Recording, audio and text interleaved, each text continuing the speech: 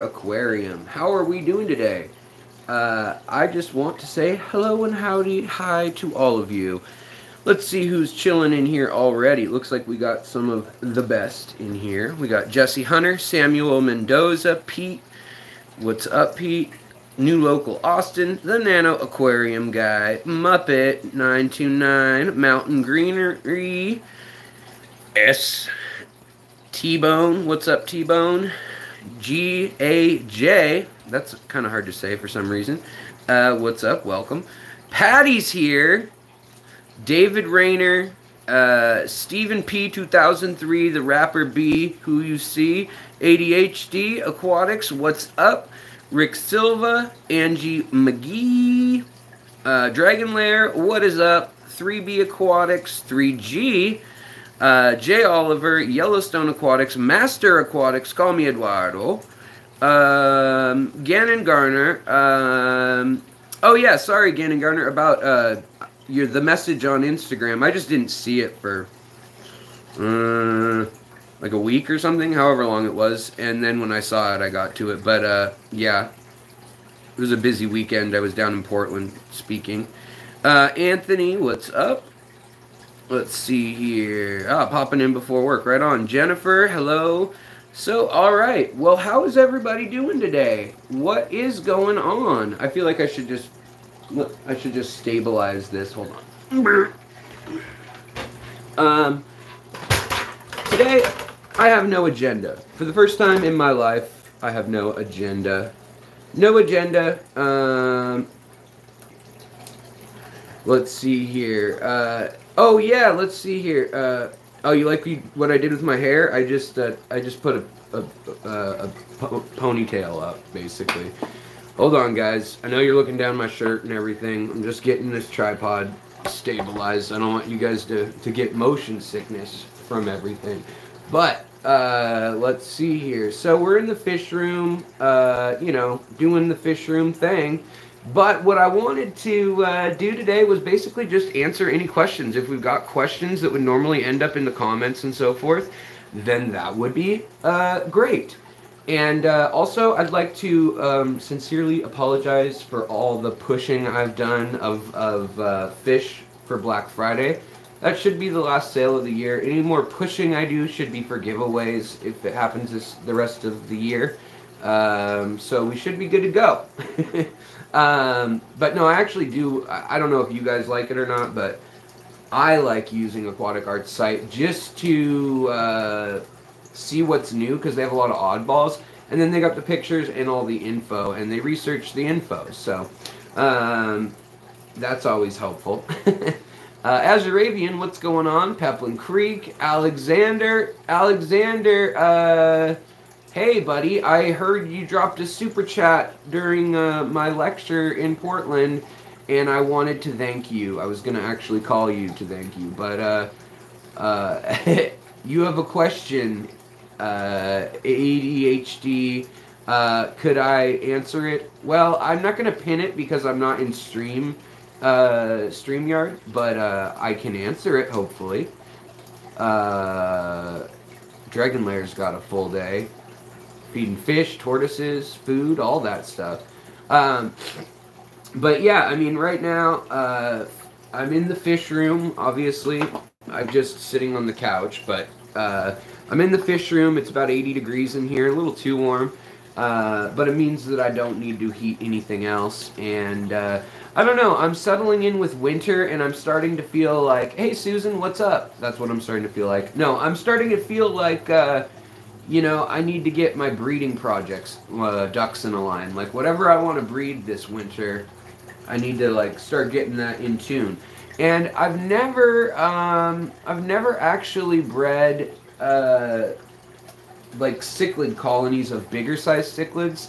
So like the Haplochromis. I've done Oscars, convicts, um, and you know like cribs or Nanochromis, but I haven't done any. Uh, like the the buffalo head uh, blue lip cichlids. Like I'm excited to try to get them to spawn. Uh, haven't really done anything to get them to spawn yet. Basically, what I've done is I've just um, you know, kept the water clean. But I haven't done any of those big water changes or, you know, fed them a bunch of live like blackworms or anything like that. So I have some tricks up my sleeve to hopefully get them to do that. But uh, yeah, it's uh, it's good to be in the house, that's for sure. Uh, let's see here. ADHD asks, how do you how do you heat your fish room? Well, so I have a little space heater that um, I, I want to say it's like 800 watts technically, like, but none of that makes any sense because like you know they have like a little power converter thing that's built in. So it, it it runs off a normal two prong plug, which tells me that it's not that much energy, but because uh, the house maxes out, you know, it's not like a 240 or anything crazy, but it's just a little um, a little space heater in theory that I have for winter. But right now, what I do is I heat the tanks that need specific heat. So if I am getting um, my cories ready to spawn, for instance, I'll be turning up the heat to like 84. So on their tank, it has uh, anywhere between a 200 and 300 watt heater, and I'll heat that. And if you have about five or six tanks, um, well, here, let me just show you guys from the corner of the room. Um, if you have five or six tanks in a room, this room is uh, nine feet by or 11 feet by nine feet, and um, you can. I've got that tank heated down there. Uh, this tank's heated. One of them up here is. Uh, these two are right here.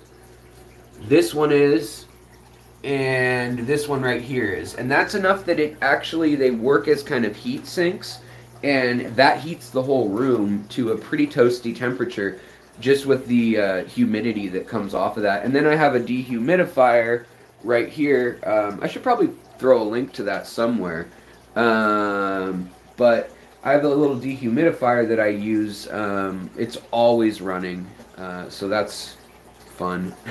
but then I just use, uh, so that's kind of a little trick that I wanted to, um, I guess, share with people. And I was thinking about even doing like, uh, people were telling, talking about TikTok this morning at, in, over in uh, the Aquatic Morning Show, Jess, uh, Jess's channel, uh, Main's Tail, Fur and Fins. And, um, you know, I was thinking like I I don't want another social media platform. I don't want to do things on another place. But I was thinking like, man, uh, there are a lot of youngins that don't use uh, you know Facebook or Instagram much at all, and uh, I am terrible at keeping things to like a minute or less. And so maybe it would be good for me to try to just do like fish trivia on there or something, and basically try to drive traffic over here and get people with a long, uh, what do you call it? A long attention span.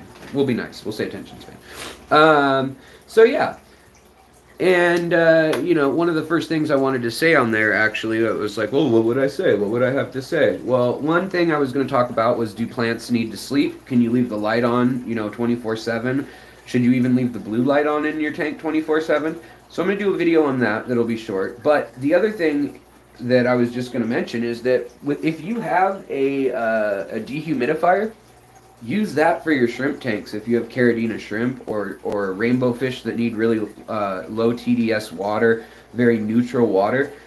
Generally speaking, uh, you want to test yours to make sure if you have one, but uh, dehumidifiers are absolutely phenomenal at, um, they're basically a distillation or uh, evaporative uh, condensing machine that then gives you very, very low to no TDS water that's usually pretty neutral with no buffering. Um, hey, Jess, what's up? Uh, we will. Uh, Jess says, come over. We will do it together on TikTok. Yeah, okay. Jess, because you're here and because you caught what I was saying and now you're holding my feet to the fire, yeah, we'll we'll make a TikTok at some point. Uh, I don't know if I'll actually uh, do much of anything on there long term, but I do feel like I can see the appeal of it. It's not the format that I want to talk on necessarily, but it is a format that might help make some of the shorts for YouTube also. Uh, and just teach me to keep things more modernly concise. Now, I'm still going to do my long talking live streams, and uh, if I have a presentation that I researched all month, I'm still going to talk for an hour and give the presentation like a, uh, you know, like a, a college or a school would have done. Oh, wow, I guys want to show you guys something real quick. My uh, Turkana jewel cichlids from Lake Turkana Look at the female. She is just neon orange. She's just glowing. The males, they're, they're all right looking. Uh, but that female is just radiating beauty.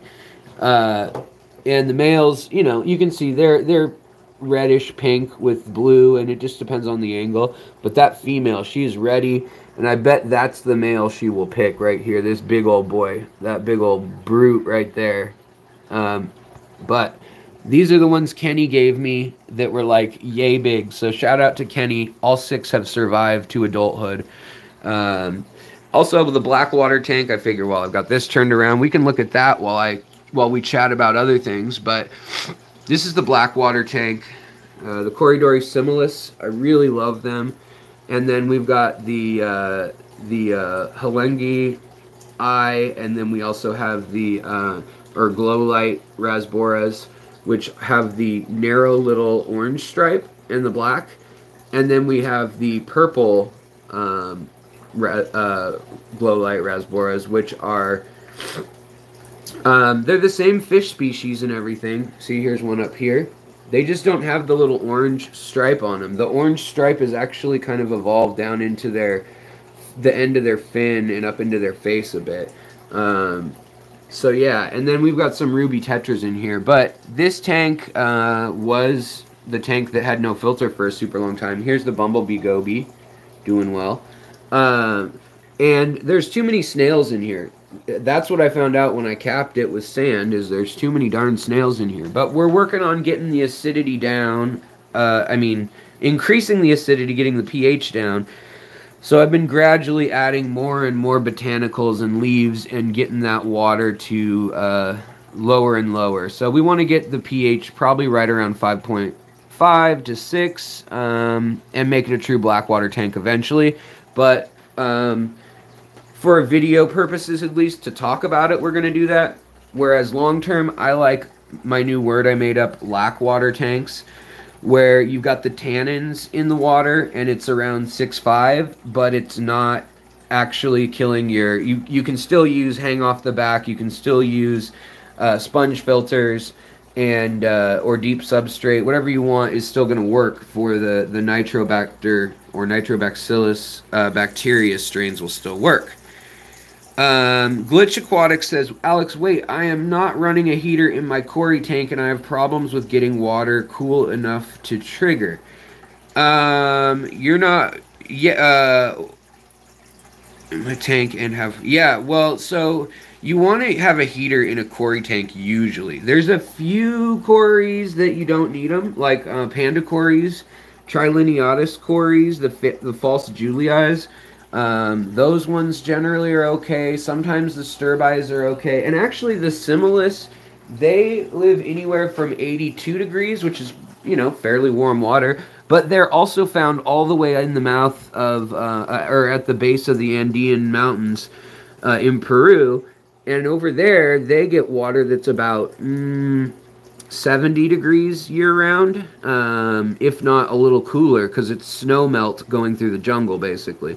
Uh, but these are real active. So that's one way to tell if your water is warm enough for your cories is they should they're a fish that should be going up and down on the glass. If they're not, it's probably either too hot or too cold for them uh, if all other things were constant, if all other standards were constant.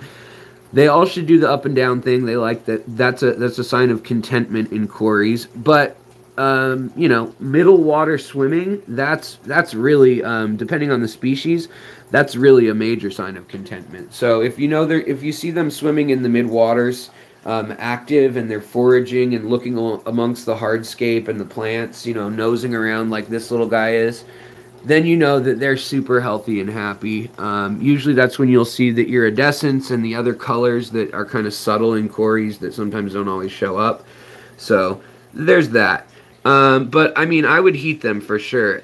Hey Shanna, what's up? 503 Aquatics. I slept through cartoons on Saturday, Saturday morning cartoons, and that made me sad. Um, Amy Lou, Alex, for the most part, uh, we are here for the detailed info. If you want to spoon feed uh, one minute at a time, we'd be at TikTok. Yeah, I know.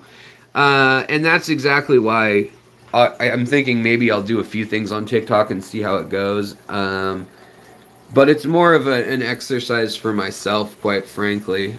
Um, Williams watching at 1.25.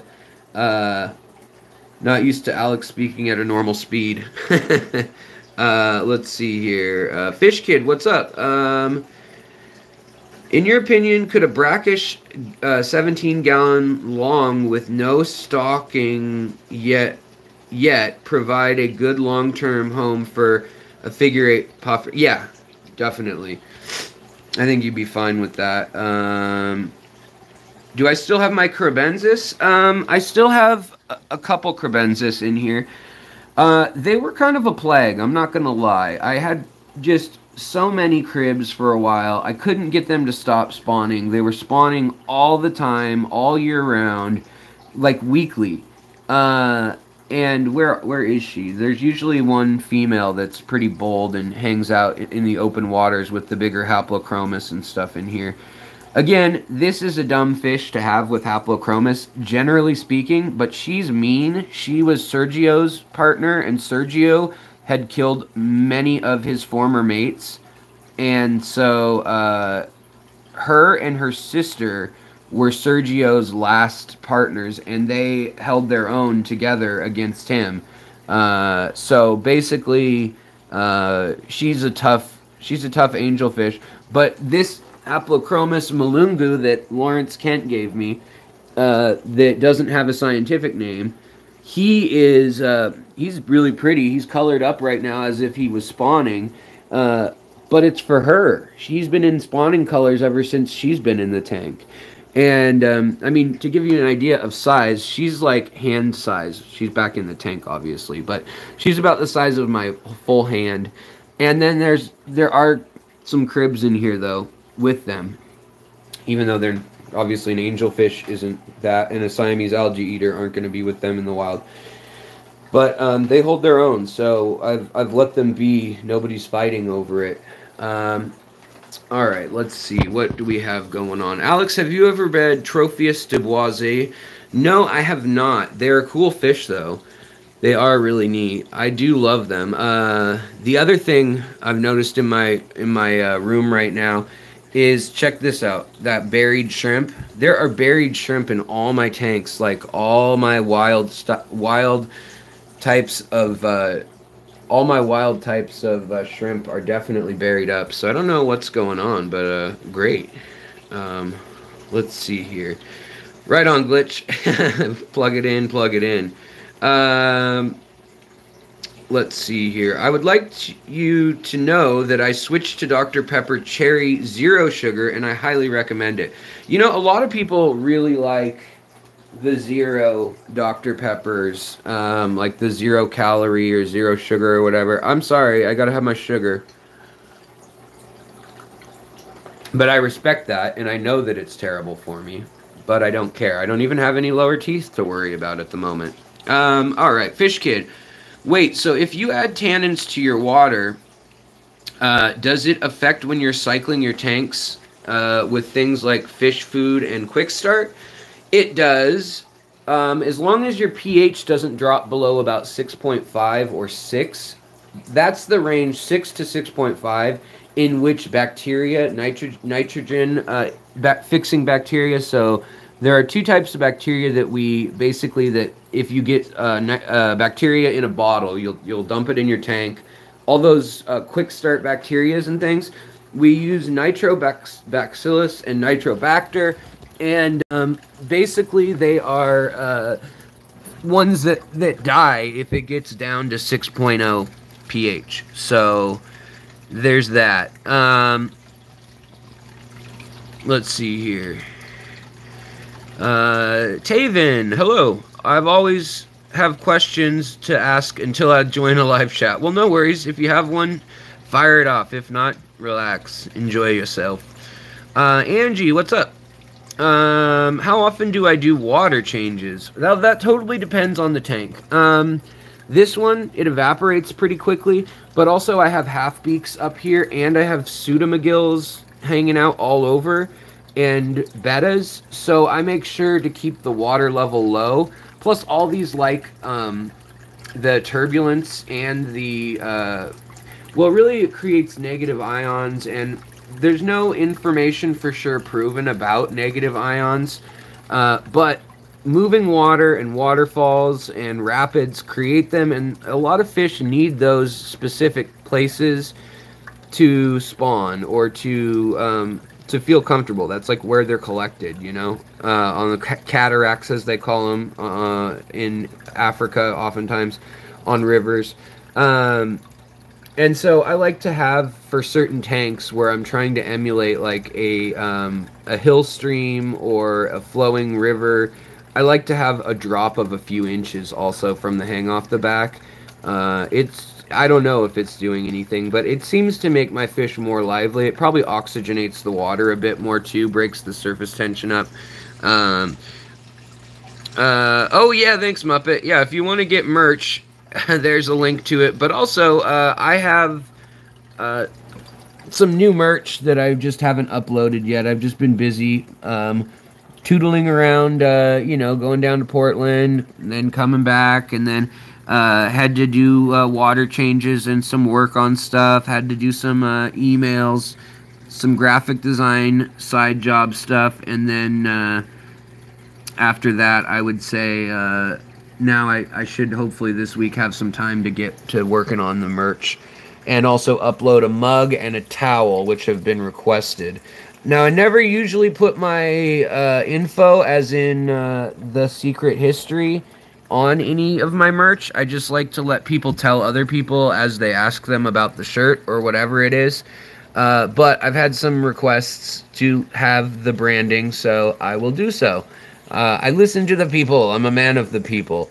Um, all right, let's see. There's a question. How much crushed eggshells do you recommend for now uh, for my now hundreds of baby mystery snails in a 40 gallon tank? And what kind of eggs?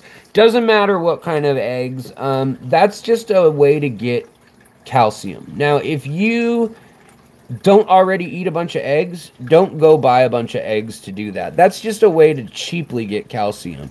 You can go to the store and get um, plaster of Paris for like 15 bucks, and that would be probably a lifetime for your aquarium. You can then pour that into mix up plaster of Paris, which is just like for it's a plaster for casting like figures or molding and stuff like that. Um, and it is uh, it will harden up your water and add calcium and carbon to your water uh, in very short order. You can pour it into uh, an aquarium or into a, a refrigerator tray for ice cubes, and then crack that, pop them out, and you'll have these plaster of Paris cubes.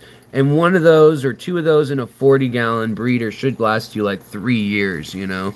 Um, so you could take care of all your tanks, I'm sure, with a bottle of that. Or you could get a cuttlefish bone, break that. Um, but really, what the snail shells do is, or I mean, what the uh, eggshells do, and I don't have proof of this, but you can watch and see that when they're in a slimy, mulmy, uh, naturally uh, decomposing uh, environment, like this um, sluiceway on this filter, when they're up in the filter and there's all those colonies of microbes and fungi and bacteria and everything, slowly the eggs deteriorate, the shells disappear. I like to recommend uh, boiling the eggs a little bit, uh, otherwise, you can get a sulfury smell and sometimes different bacteria grows on there. So I just boil the eggshells after I've saved them and, and rinsed them slightly, and then I boil them and then I just crush them up and I'll put them in the filter from time to time. But then the bacteria will colonize the surface area of those eggshells because it's not like the the the by putting eggshells in your filter that doesn't directly just diffuse into your water nicely. It actually needs to go into the food chain. So either the plants need to suck up the loose amount, or um, you know your snails are going to do so by eating plants or eating um, bacteria or um, mulm or algae that's condensed that. So really, you're trying to get it into the bottom of the food pyramid, and then get it to work its way up through the ranks, essentially. Um, also, my uh, African multi-line barbs or eight-line fire barbs, whatever you want to call them, they uh, they've had a, two or three new babies survive to knuckle size. There's one right there. Um, in this tank, which surprised me. I thought this guy would eat them, or she would eat them. Uh, also, the new uh, Panduro cichlids are doing good. The Apistos, and so are the um, the uh, uh, catfish. They're doing well. Uh, Petricola. How many tanks do you set aside for grow out of your fish you're breeding for profit? So uh, that's a really good qu- question, Melissa. Um, I don't necessarily. That, that okay. Let me think about that. So I don't really breed for profit like I used to, where I would have one tank ready with the parents, one tank ready with uh, nothing, and it was just you know getting prime with lots of little bacteria, microbes, maybe some shrimp hanging out in there. I don't do that anymore. Um, basically, I want tanks where the parents can feel comfortable enough to spawn, and then I've got little tanks up above where I keep shrimp generally, but sometimes there's hardly anything in these tanks. Sometimes it's just um, a few shrimp uh, some random surface area and plants and stuff, and a bunch of scuds, for instance. Uh, or the Rili shrimp here, and a bunch of stupid pond snails that I don't really want in here anymore. Um, or some guppies. Well, then I decide, okay, well, what kind of fish am I growing out? If it's baby bettas, well, then I toss them up here. If it's uh, if it's something really tiny like half beak fry, they're right here. Um, so I don't really uh, plan out the space like I used to. I don't really try to maximize profit anymore. I'm not. I'm not ch- chugging away or plugging away at um, you know making sure that I could get the most out of everything because if I wanted to do that, really what I would do is I would I would probably have a um, you know in these 40 breeders I'd have maybe two that are for plants alone, Dutch style plant them, put double lights on them so they're growing super fast. Use aqua soil and CO2 on them right there. And then I would do uh, up here, you know, I'd pick species only probably tanks. And uh, this right now is one of the few species only tanks I have, just because they're so dang mean. Um, but I like biotopes. I like making fish feel at home, and if they happen to have babies, then great. Um, this one, you know, I've got Synodontis in here that spawn. They just don't have any salt water for their babies. We've got shrimp in here. We've got the lizard, catfish in here. We've got, um, and we've got the uh, five Apistos, uh, three females and two males in here. Uh, and that's pretty light load for a 20 long for me usually, compared to like over here. But you know, oftentimes when I see mating behavior, that's when I'll step in and do something about it and and grab a pair of someone. Uh, you know, if I were to see, for instance, um, like these these uh, Beckfordi pencilfish, she's really full of eggs right now. If I wanted 50 baby pencilfish, I'd take her and I'd toss her in this tank, um, and I'd feed her live food.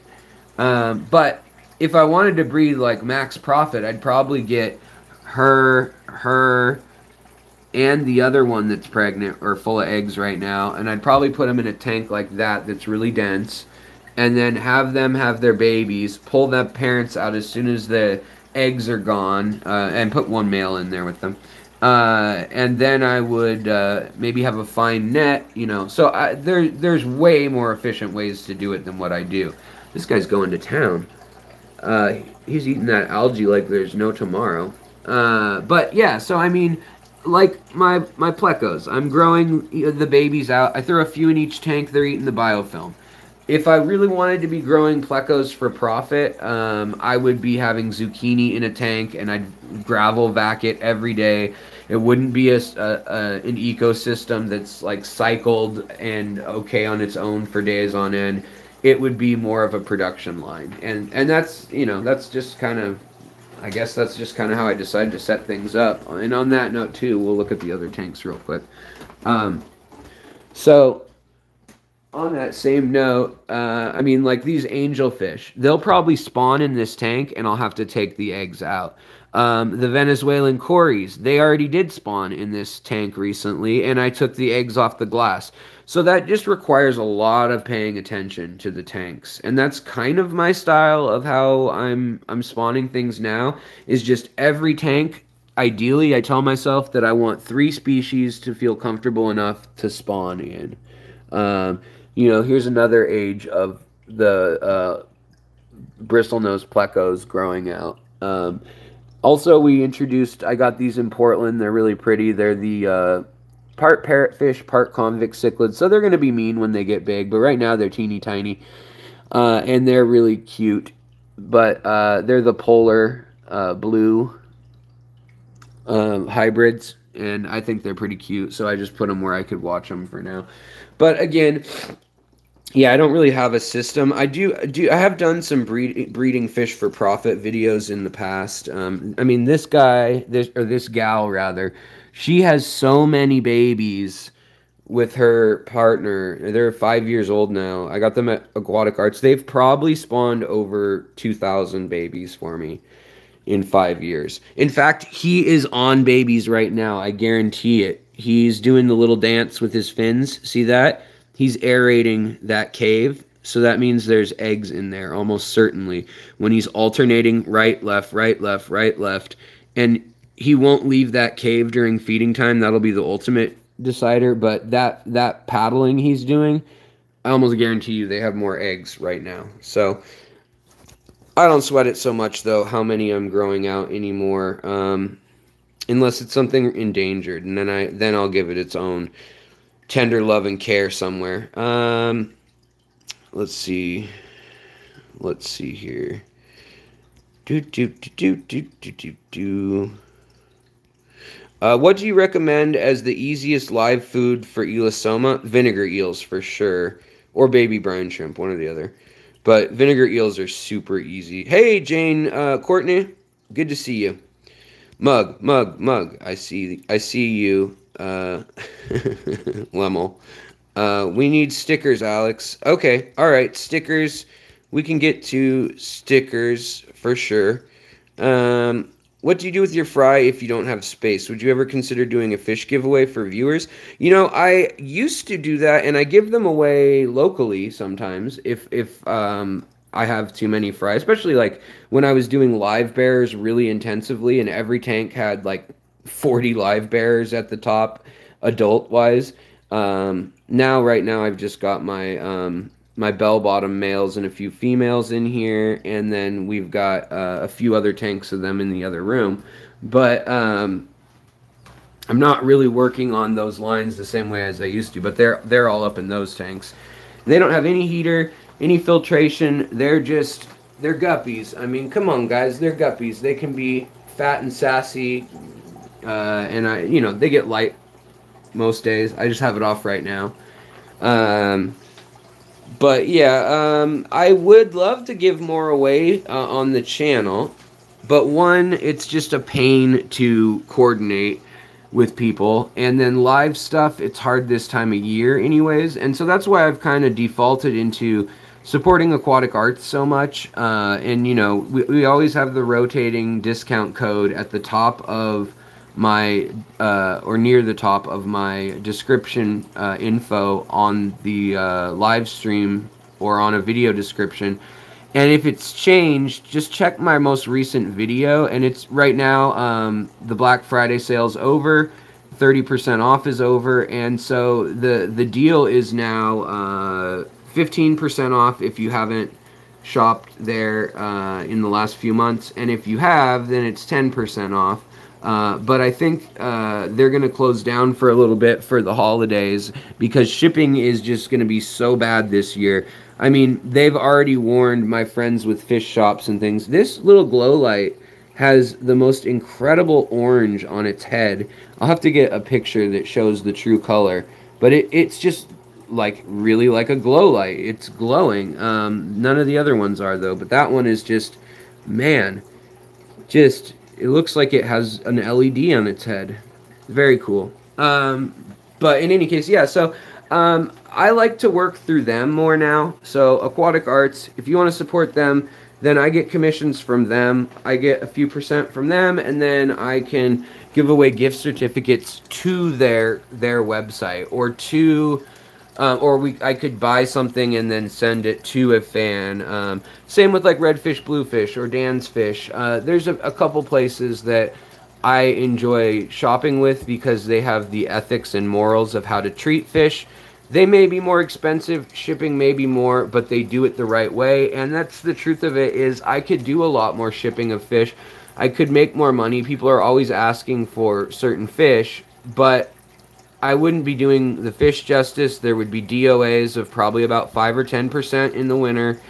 And I just ethically don't feel right about that. Um, nor do I enjoy f- fulfillment of shipping uh, side of things. So I'd rather just focus on this stuff and then hopefully um, facilitate getting fish to y'all or gift certificates. Uh, all right, let's see here. Uh, yeah, uh, Cats Aquatics makes a uh, calcium food for crustaceans and snails. A lot of them are starting to come around and do that, which is great. People need to realize in the food industry, and I'm doing a video in December of the trends that'll be coming up in 2022 and 2023. I always do a forecast a video, but one of them that's been going on in the UK and uh, Germany and Italy, France for a while is that you can buy live. Um, live cultures at the pet store pretty easily. And there's big brand names that supply like a bag of daphnia. And that's a very time sensitive thing and it's fragile. You got to get it there and sell it and the turnover has to be enough that it's quick. Um, but that being said i mean i think that's something that there's a market for in the us as well especially culture starters. Uh, yeah we got a great crowd in here tonight uh, it, it for sure. Uh, I appreciate everybody hanging out in here tonight. What's what's the easiest uh, live food to maintain? Probably vinegar eels because you just take half. You don't even need to. I mean, this is a recipe. There's plenty of recipes out there. You cut up an apple, uh, put a few slices of it into a bottle, half water, half uh, vinegar, apple cider vinegar, and uh, get a little uh, teaspoon of the culture of the vinegar eels and uh, put a hole in the top of the bottle with a cotton ball at the top to kind of serve as a airlock. And boom you've got a uh, you've got the uh, those bottles up there. I've got tannins in one the dark one. And then over there i've got uh, uh, the, the little the little nematodes the vinegar eels. And yeah they're they'll they'll keep living like that for six months to a year without food changes, which is nice. But they do I they do a lot better if you do keep up with them.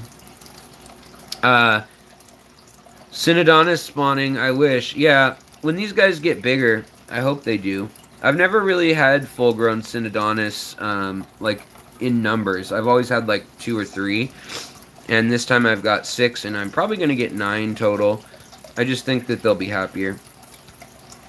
Taven says, uh, I have roughly 8.2 pH, 120 parts per million KH, uh, 300 parts per million GH coming out of the tap. What fish do you recommend? Also, 40 gallon breeder. I love tetras, but I think they wouldn't thrive. Yeah, you're probably right there. Now, you could add a bunch of plants. Um, plants will bring that number down. You could add aqua soil, which is a little pricey, but you know, once you pay for it, it's good for a few years.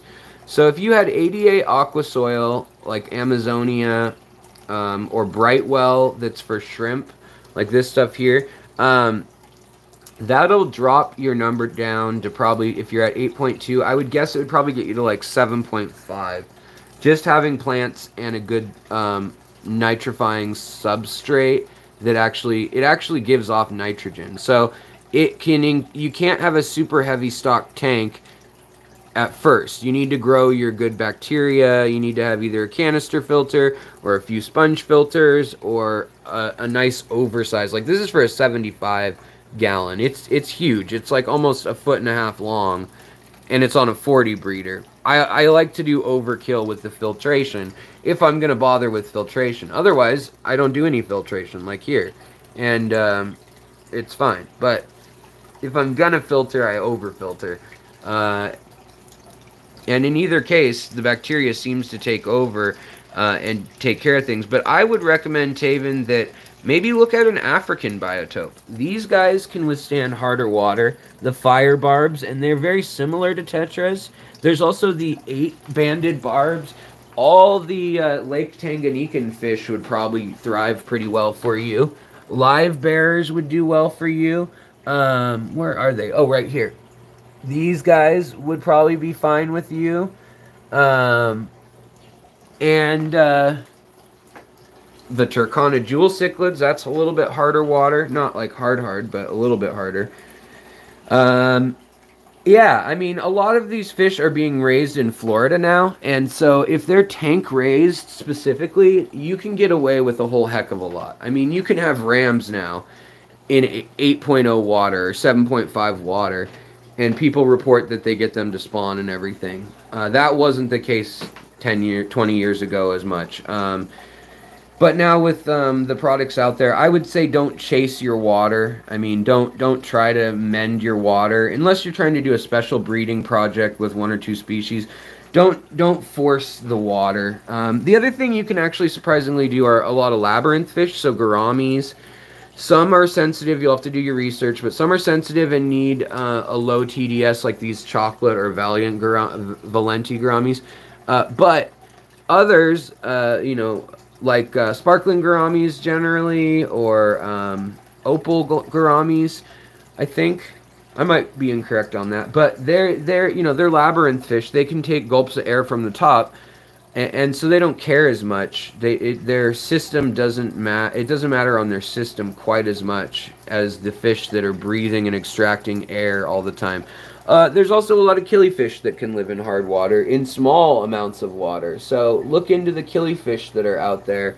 Uh, there's a whole group of them from Africa. Some are peat spawners, but others live in the desert. Gobies are another good one. That there's some desert gobies that can have pretty hard water too. Um, let's see here. A lot of people in here right now. I know we got 128 people in here. I appreciate it. Thanks, guys. Thanks for hitting Although, we got 68 thumbs up. So apparently half of you don't like me. Um, uh, H2O Botanicals, I do not have the Blixa right now. I do not. I sold it at auction so that I could get, um, uh, you don't even want to know. So I could get a couple other plants. Can fish be allergic to food? Yes. But it's going to be a one-off. Like one fish would have an, a reaction, um, and usually in reactions in you know, um, they don't have gentle, delicate skin like we do, where hives and rashes show up super easily. Uh, so it would probably manifest itself as either lesions if it's really bad, but more than likely it'd be throwing up and diarrhea and and and uh, digestive problems from them. Uh, Good Life Aquatics says I use the code save 12 bucks. I appreciate that. I really do. Uh, especially since you just missed the big sale. I'm sorry about that that we were talking about last night. Um, oh, Jesse, you got uh 25 bucks off too. Right on. Um, let's see here. Any tips for a new zebra pleco owner? Ooh. Um, keep their water clean. Don't let the nitrates build up whatsoever. I've seen several people lose them to that. The other thing is they like warm water and um, watch your heater like a hawk. If you can, I would even heat the room rather than the tank, even if it's 80 degrees, uh, because I know Bentley had one where I think it was his heater got hot, stuck on and um, he lost a whole colony. Dean uh, from Aquarium Co-op uh, videos, uh, who's also in my fish club, he lost some. Uh, so I think I know a few people now who've lost them, and it's frequently uh, uh, it's frequently pretty common to have the heater get stuck too hot or not enough movement in the water to move that hot hot heat like they're keeping it at 86 or something or 84 and trying to induce spawning or something and all of a sudden you know the filter stops working or a power head turns off that corner gets up to like 100 and um, yeah it can it can get bad. So they live on a pretty pretty big uh, what's the word? Precarious conditions i would say um, Coast Gem USA. I don't know. I don't know enough about them to comment. Unfortunately, I'm sorry. Um, I do know that um, Gemco uh, air, their air pumps, great. uh, like their their um, what do you call them? The uh, the ones for the whole fish room. I'm spacing on the name of what what that's called when you've got the whole uh, inline. I think inline air. Yeah. Uh, let me get this set up again. I feel like we'll we'll have a fireside chat with my face. Probably not my face that brought 130 people in here. I know that, but I feel like I need to connect. Like like like we're we're drifting, kids. Why won't this move? There we go. Yay! It's going to go down slowly. Slow downfall. Alright, let's see here. Everyone in here, go subscribe to Stephen P. 2003 Aquatics. Um, he's nearly at a thousand. Yeah, if you haven't checked him out, I would suggest it. He's got some music parodies, uh, or actually original songs, come to think of it, that he has done about fish keeping lately that have been really, really clever and funny. And he's an intelligent guy. Him and his wife put on a good live stream. I always enjoy it. So I can uh, happily uh, suggest that y'all go check out uh, Stephen P 2003 and subscribe. Uh, you won't be let down. Uh, and also Rico, who's doing the uh, Christmas giveaway. He's near a thousand too. Uh, so yeah. Let's see here. Kevin, um, suggestion on what I can do. I have one or two parts per million ammonia out of your tap. Uh, are you on a well? Because that might mean a dead animal in your water. Uh, that's pretty high.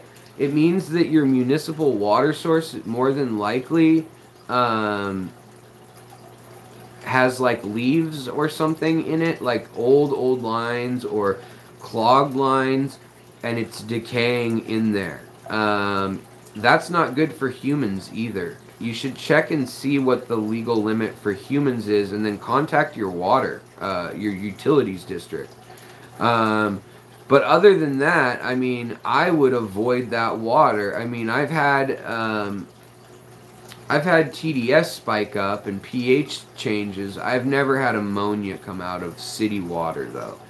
Um, nor have most people that I know who've looked into it, they've found some other cause. Like maybe in their house, their hot water heater, um, you know, had some sort of rat dead in it or something. I, I only know of that happening once. But, I mean, like, there's weird things that can happen like that. But I would call usually for 25 bucks at most, but usually it's free. You can get a water, they call it an assay, like essay, but with an A, um, and you can get a printout of everything that's in your water from where your house is on the line. And they'll give you like every element that's in there. Um, but I don't know, it's pretty unusual to get ammonia straight out of the tap. Uh, so I'd I'd figure that out. But if you are getting ammonia out of the tap like that, then I mean you could have duckweed, um, hornwort, uh, wisteria water sprite, vallisneria, um, guppy grass. You could just have a ton of that. You could leave a 40 gallon breeder empty or something, or I mean, no fish, lots of plants and just let it cycle the water and then do your water changes from that. I know that's not the coolest idea ever because you can't keep fish in there. But the thing is, if you got good lighting on it, fish actually like ammonia. I mean, plants like ammonia better than nitrates and nitrites uh, in in small doses, and that's a small dose for a plant. Um, so if you've got 0.5 or 0.1 part per million or whatnot of ammonia in your in your water, really, um, and that's what you determine it is, and it's within the legal limit, and you can't get them to fix it or anything, uh, then that's probably what I do. Or I'd get a rain barrel. I know you don't you live in California, so I don't know what kind of rain you have that um, uh, could do that. Uh, Olivia, let's see, help. Uh, a week and a half ago, Ick killed all my fish. Uh, we fought hard, but it still killed them. Uh, we bought more fish. When can we add them to the old tank? Well, so that's a good question. Uh, so, Ick lives a life cycle of a few weeks I don't know the exact timeline, but it doesn't matter because the exact timeline has changed over time as different strains of ick have evolved also. But essentially, ick lives in your substrate, and then it comes out and it lives in your fish, and it attacks their gills and and cloaca, or where they use the restroom. Uh, it, it attacks those areas and their soft tissue um, first then it uh, starts to show up on the exterior gills, around the eyes, the mouth, and then you'll see the the um, lesions on the body. Well, the body is when you're actually in there. It's a colony of bees, basically, and when that little white dot opens up, they've been growing eggs inside of the fish's flesh, and that's when they're released. Well, they're free swimming for like a week. Um, I don't know the exact number that they're giving out now. It's changed over time. If you read old books, it used to be like four days or two days window that you could target them and kill them all. But now, because of intense farming going on from uh, aquaculture industry, there are resistant to treatment forms of ick as far as chemical treatment. However, if you turn the temperature up to 84.2 degrees, all forms of ick that we know of in fresh water will die. Um, I tend to say turn it up to 86 because there's fluctuations. Heaters don't just stay constant. They're either all on or all off. And uh, then they have a thermostat in them that says, oh, we're too cold. And then there's a lag period. So if you looked at it, it would be a graph that looks like a wave. It's like a sine curve. Uh, and so I would suggest that you um, you wait at least two weeks with the the heat up to 86 degrees, especially if there's no fish in there. Turn it up to 90 degrees. Like screw them, screw those ick guys.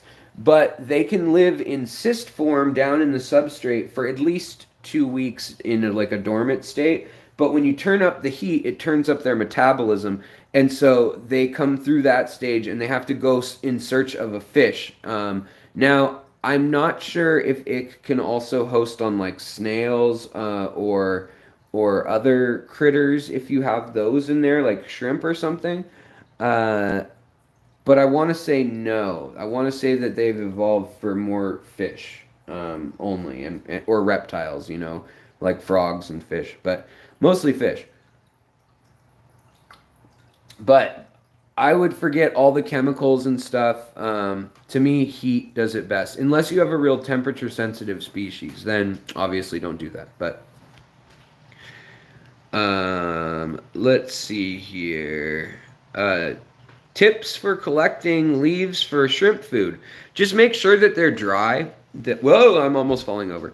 Uh, just make sure that they're dry, that they're not mildewy or bug eaten. That's usually a bad sign.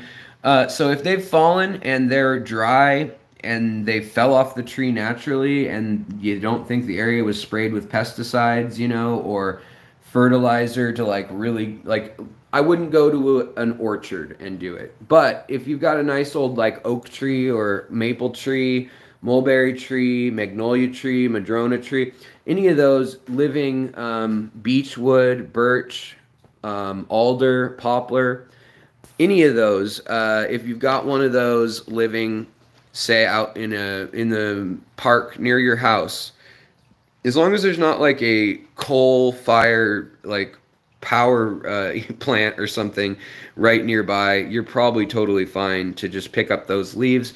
Like I said, a lot of times you'll get leaves this late into the season because the rains have started that are kind of laminated together. And some people use those, they'll boil them and the, that'll kill things. Um, you when you boil them, you lose some of the botanical tannins. You you lose the um, the collagen enhancing uh, properties that are in there. Um, the carrageenan that's in seaweed also is also in some of leaves and things.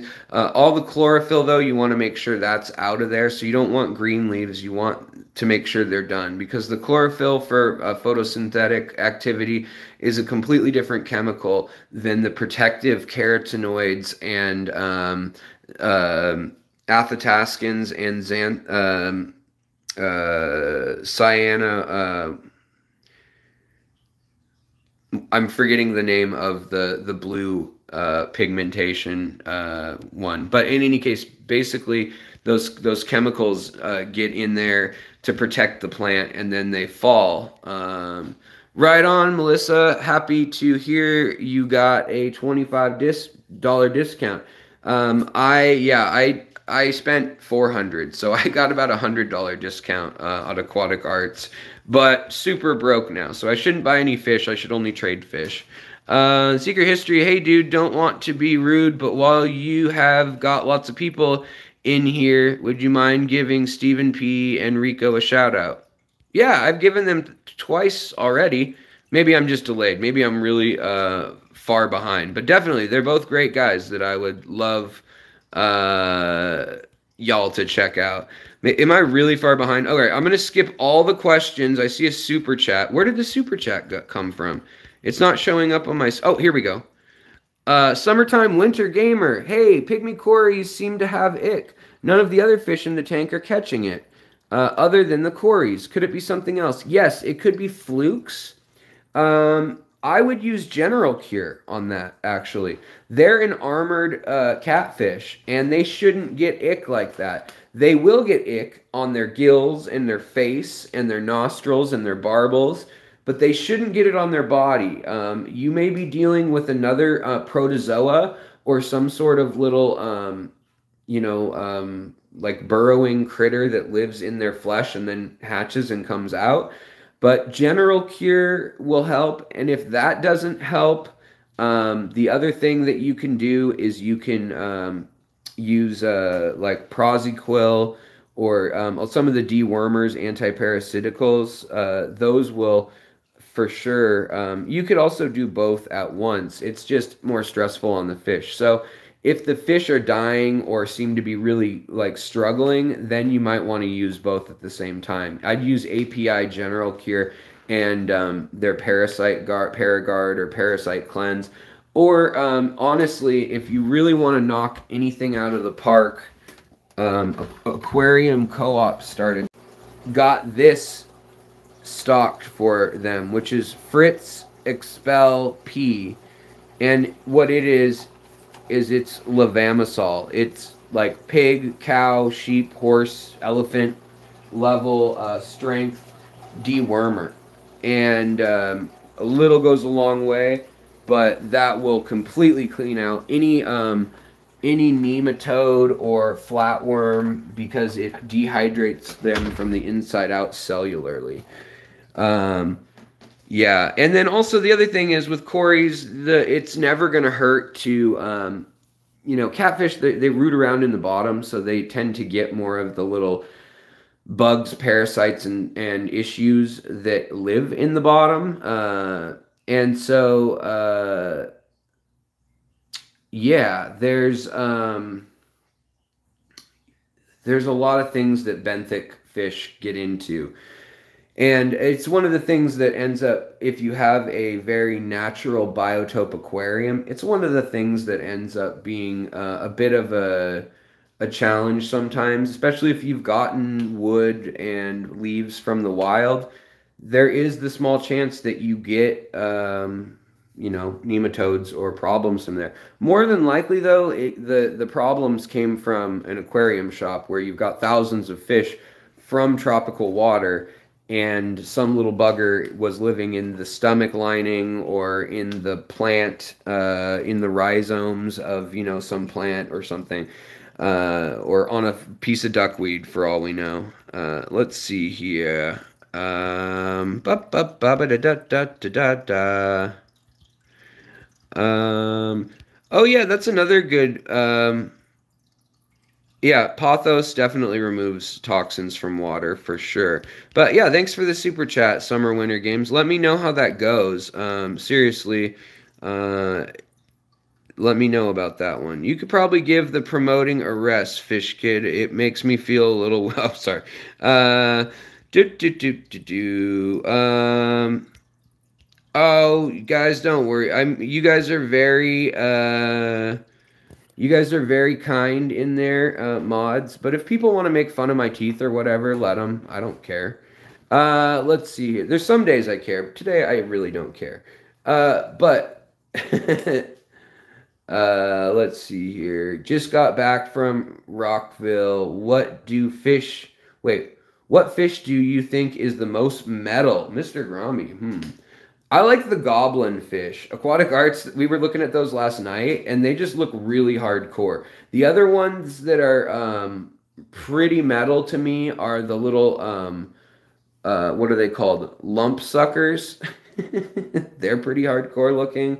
Um, some of the, uh, let's see here, I've got a book handy. let me try to find one of the other ones. There's also a fish with a Latin name, Demon Satanica. Uh, like that's what it translates to. Um, that's pretty metal fish. Uh, alien bettas with the metallic shimmer are pretty metal looking. Um, sheep's head, um, saltwater fish, they're really scary when they're spawning. So are, I mean, for that matter, so are humpies, so are Goliath groupers and stuff. There's some pretty scary looking fish. Uh, a lot of the you know a lantern fish that's a scary scary as hell fish. Um, the goliath tigerfish in africa another really scary looking fish. Um, but i think the most metal fish of all is the candiru because it swims up your pee hole. And they're afraid of it all throughout the Orinoco Basin and the Amazon Basin, more so than piranhas or alligators or caimans. They're just like, don't go deeper than your waist if you're actively relieving yourself in the water. They have barbs, they will hook in there. They will also get in your nose, your eye, your ear, any orifice uh, that you can think of. They've been known to get into. It used to be thought to be a myth, but now they have confirmed it. Um, let's see here. Can you come over and mow my lawn and fold my laundry, Alex? You never help me. Uh, yeah. Yeah, actually, Rico, I was just saying that, um, that I was hanging out with you the other night and, uh, that you last night came over and talked about Fishmas uh, and how to sign up and all that. And so, um, if you would like, Rico, you are a mod too. Feel free to drop the info if people want to participate in Fishmas. Uh, hi guys, I'm Rico and I'm wait, I'm friendly. Uh, check me out. I tried to go later than your stream tonight too. Um, for anybody who's been living under a dumpster for the last 50 years, this is Jerry Garcia, not Rico. But I mean, they could be distant cousins. I mean, this guy's way smaller, but you know, Jerry Garcia in a pouch, man. All right, let's see. Um, I would help you with chores if I were there. Uh, right on, right on, right on. Uh, Bunny Viper, what's up? How are you doing, ma'am? Uh, is Fritz product interchangeable with the fenbendazole? It is in a way, but levamisole is like the next set of guns. Like if if if that's a 22 rifle, Uh, like Fritz is a 22 rifle. The other one's like a 30 six for hunting elk rather than like shooting squirrels. Uh, if uh, if it's uh, hmm, what other things can we say? If it's the uh, kids Happy Meal size uh, fenbendazole, then it's the uh, trucker cup that doesn't fit in anything that's like 164 ounces. Uh, so no, there's a big difference in the levamisole, but uh, definitely. Um, do you have angelfish? Uh, yeah, I do. I have lots of, or I, I've always had angelfish of some sort. Um, my angelfish though are very active. Um, ADHD. Who made fun of your teeth? Those are teeth of knowledge. I hope they're not because they're going to pull the other one soon. You know, after that lightning strike, uh, all my teeth are pretty much scrambled and problems. If your angelfish are hiding, they need more. They're either scared of something, and it's another fish probably, or they don't feel secure. And so, dither fish help. Having little fish that are doing other things helps having places where they can go and hide if they want to help. I tell people over and over again, like my shyest fish, hands down, is this ram right here, and I, he's out right now.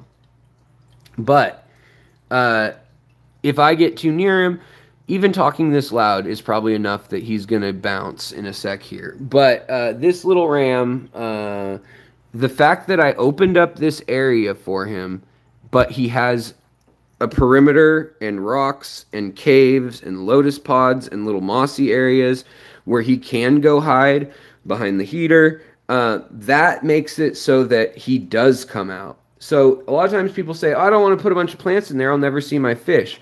The truth is, if you don't put plants and hiding spots and sticks and things that break up lines of sight, you probably will see your fish even less than if you just actually gave them a natural biotope um, let's see here. Uh,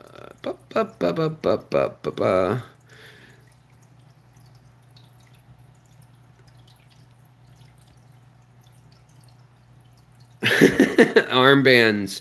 That's an interesting autocorrect. Uh, uh, let's see here. Thomas says, Alex, does Pothos help remove nitrates in high tech Dutch aquascape to get more red colors from my plants, or will I just have to fertilize everything more? You know, this is kind of an age old question, Thomas, and that's a really good question. So, right now, my nitrates in this tank are zero. Zero. My red plants aren't looking that hot. I mean, live stream always makes them look even worse than they are, but I mean, this is a blood red color, uh, believe it or not. I know the live stream doesn't make it look like that. We've got Crypt Red Tiger Spiralis variegation here, uh, or variegated.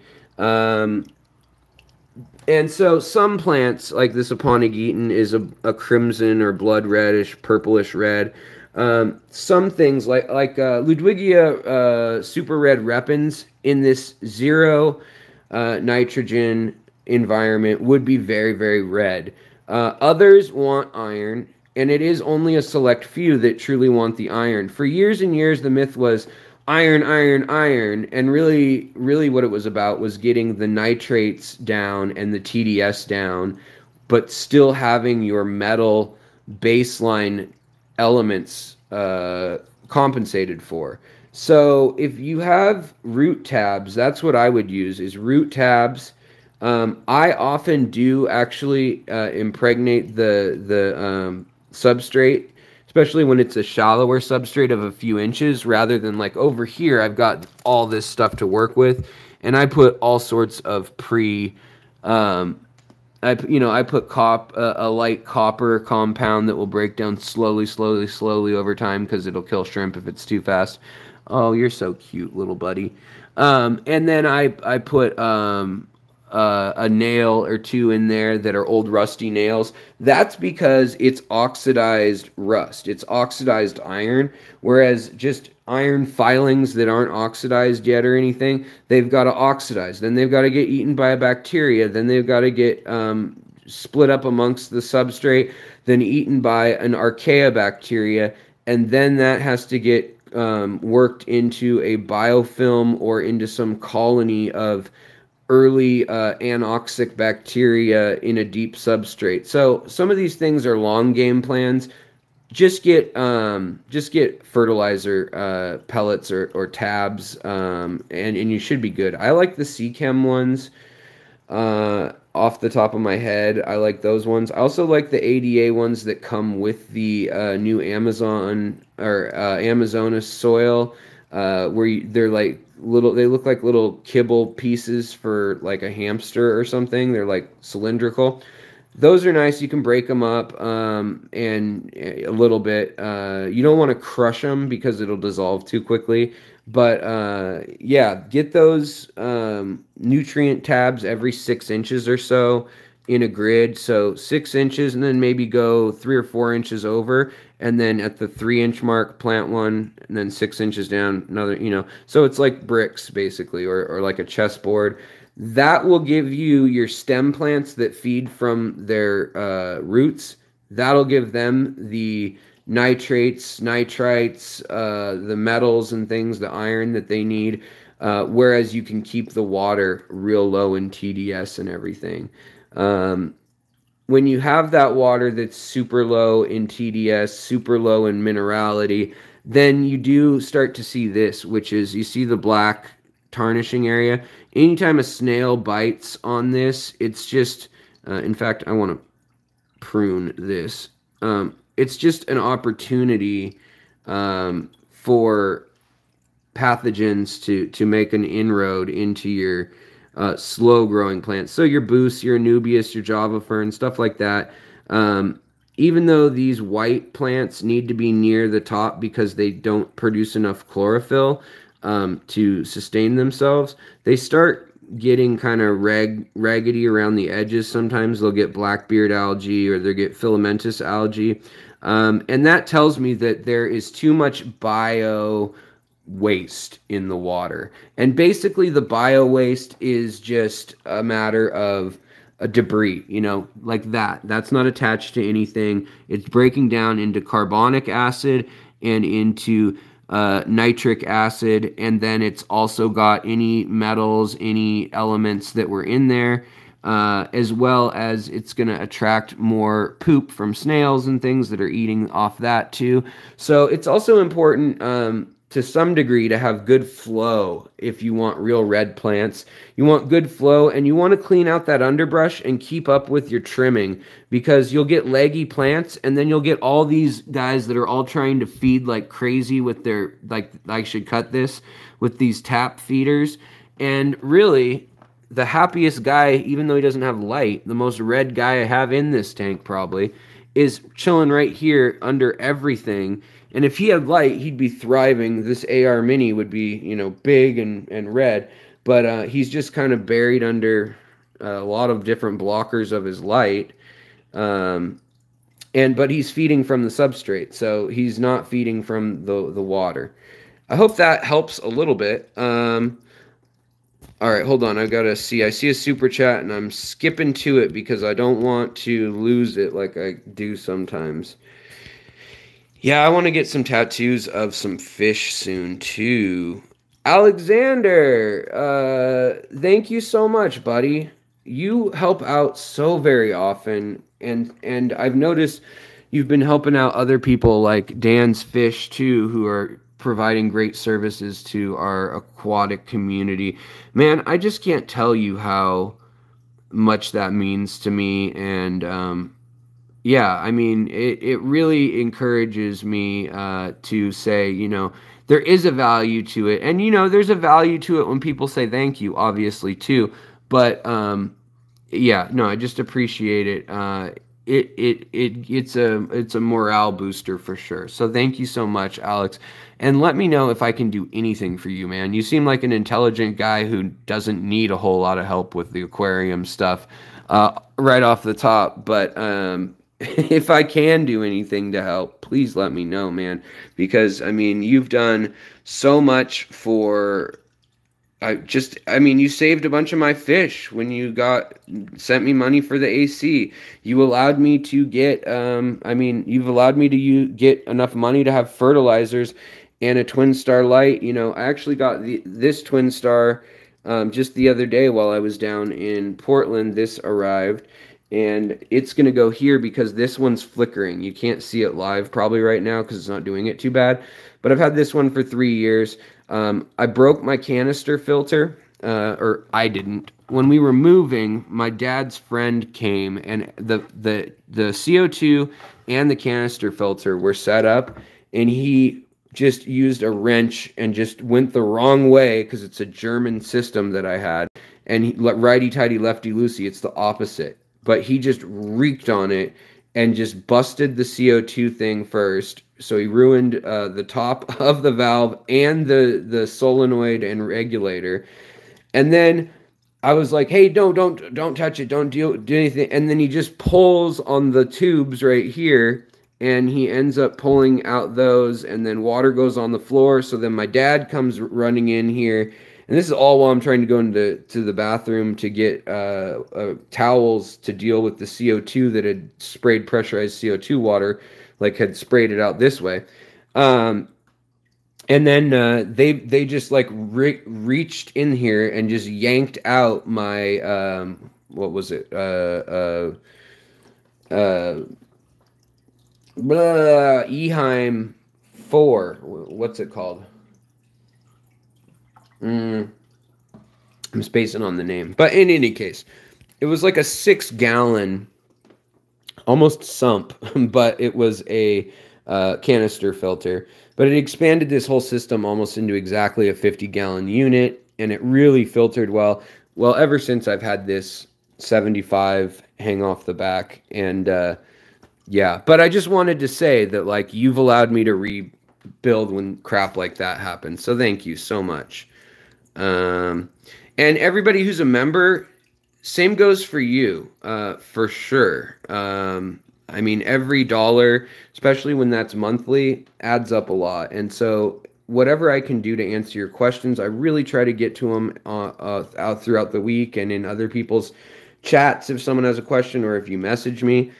Um, but you know, there's only so much time, and I can only see so many different people. But um, I appreciate you all. We all need each other, and we keep it all we all keep each other going and keep each other reinforced. Um, Eric says, I put pothos cuttings in my aquarium and they are now growing up the walls outside the aquarium and huge leaves. I never expected that to happen. It's beautiful. Yeah. Um, I've got this this plant here that my wife put up here and it's too dark for it. I, I don't like literally it's growing better because of reflected light off the ceiling than the, the real bright light coming from here. Uh, and uh, so once it gets down, it's almost there, even though it's getting pretty raggedy. Um, I'm gonna do another. Um, I'll, I'll, split it. I'll cut it, get a split, and then we'll we'll put one of the splits into here so that then we can you know vine it around. Uh, also, we recently trimmed this one, and then oh, we have another one we trimmed over here too. Uh, this lovely little feller uh, we trimmed and got new pot for.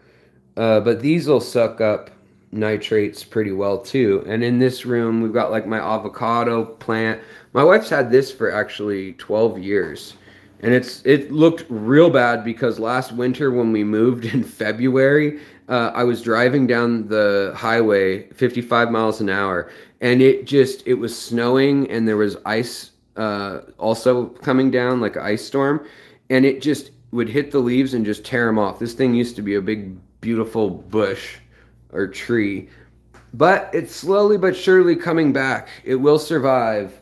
Um, just like our, well, I have an episode on variegation. If you're interested in houseplants and uh, how the pigmentation of houseplants works and how they use nutrients and things like that and how they can be incorporated into your aquarium.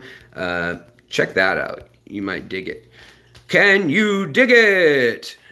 All right, guys. Well, I'm thinking I'm going to get off of here. My wife's going to be home shortly, and I said I would help make her dinner. Um, thank you so much, you guys, lurkers, super chatters, friends, questions. I really appreciate you guys making this an interesting evening and uh, limiting the amount of pacing I do. Uh, Alex, I have Cory Fry in a hang on breeder box one week. How long should I wait to place the fry, um, to place them into the fry grow out? Um, once their little yolk sacs are gone, if nothing's going to eat them, they can go into any tank you want. They're phenomenal at rooting around and finding little tiny planaria eggs, little tiny little um, seed shrimps, and um, water fleas and things that like you can barely see, but like the little bugs that hop on top of the water uh, in a lot of aquariums people have uh, that are like the size of a piece of dust. That kind of thing. Um, your little baby cories in an older tank they'll find all sorts of food on top of the just teeny pinch of food you need to feed them. So some people like to do that. Other people like to, um, you know, like boil or poach an egg or take a hard-boiled egg and whip up the yolk. And uh, sometimes they'll add a little teeny pinch of um, pureed garlic to that and they'll put that into a tray. If they're trying to super feed, super speed grow them, they'll use like um, uh, a uh, Tupperware container and they'll use the yolk with the garlic and they'll super feed them that protein uh, and they'll grow very very fast but it mucks up the water daily so you'd have to do a water change about an hour after feeding them each time and you're talking about feeding them two or three times a day so you can get real labor intensive with it or if you have a tank where you just have shrimp or something just toss them in there um, as soon as their yolk sac's gone uh, and they'll be cruising around doing fine. They're not going to eat the baby shrimp until they get bigger. When they start to look like a cory, that's when they may start predating on little shrimp and stuff, and you might want to move them. Even though they're not that bad of predators of shrimp, to be honest. But to lie to you, they're ferocious. Glitch Aquatics, welcome to Lurker. Ding, ding, ding, ding, ding, ding. Um, well, on that note, thank you so much. I appreciate it. Thank you again, guys. Super chats, mods, friends, family, uh, fishy folks. Always enjoy you guys being here. I got 800 other videos to check out. If you need help with a question, try looking for it with secret history in front of it because there's a pretty good chance I already done covered it at some point. Some of them I want to redo though. But uh, good luck, everybody. And if you need more follow up with anything that I've tried to answer tonight, just drop it in the comments and uh, we'll try to get you sorted out. There's plenty of helpful people here in this community, and same with the Facebook page if you need to show us pictures or something. Thanks, guys. Uh, take it easy and have a wonderful night.